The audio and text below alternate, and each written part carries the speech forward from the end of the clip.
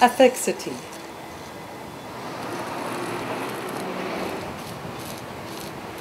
An interdisciplinary choreographic exploration using augmented reality on mobile devices.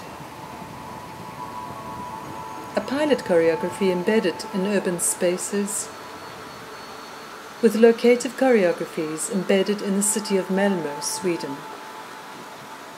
Using Argon, a free open source augmented reality browser with geospatial tagging, allowing accessibility to the embedded choreographies via iPhones and iPads.